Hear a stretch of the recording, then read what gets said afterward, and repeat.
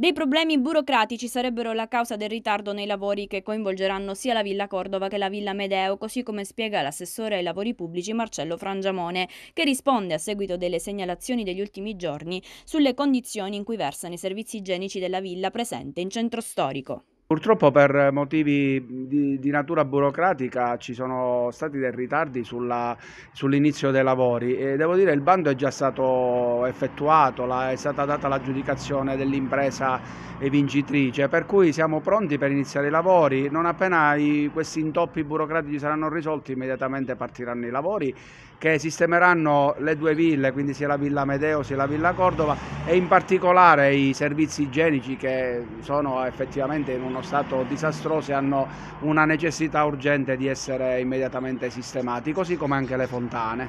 Non ci sono delle tempistiche quindi certe? Beh, io mi auguro che tutto possa essere risolto, siamo ormai agli sgoccioli per la parte diciamo per, per questa problematica e io mi auguro e spero vivamente che gli uffici facciano di tutto per, perché i lavori possano partire entro questo mese. Non c'è possibilità di effettuare degli interventi tampone intanto? Eh, ma gli interventi tampone possono essere effettuati dove ci sono delle emergenze molto più diciamo, limitate. E qui l'intervento tampone sarebbe sistemare il bagno, ma eh, il bando pre, proprio l'appalto prevede specificatamente questa, questa, cosa, quindi sarebbe un intervento che ripeterebbe quello che è previsto già nel bando. Saranno riprese le due aree giochi e anche il, la pavimentazione della Villa Medeo, sistemazione del verde che si trova appunto nelle, nelle aiuole, gli alberi, quindi le piante che si trovano nelle, nelle due ville.